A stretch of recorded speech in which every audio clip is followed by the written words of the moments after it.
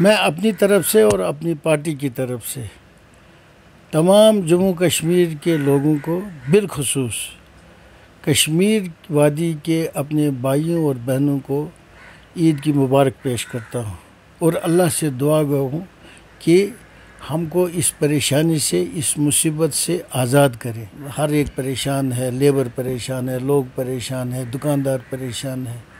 तो इस परेशानी से हमें अल्लाह नजात दे यही और यहाँ अमन अमान पैदा हो इस वादी कश्मीर में। देख लेंगे हमारे बच्चे भी परेशान हैं। उनको अभी वर्चुअल मोड पे क्लास होते हैं। हर लिहाज से हम हर जैसे परेशानी है। साथ साथ मैं ये भी गुजारिश करूँगा अपने भाइयों और बहनों से कि इस वक्त भी हमें एस को फॉलो करना चाहिए। कोविड अभी पूरा गया नहीं है।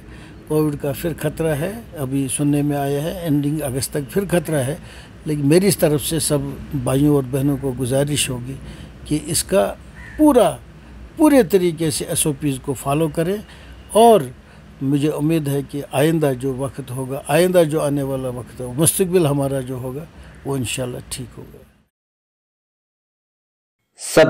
Asian Mail, press bell icon, never miss an update.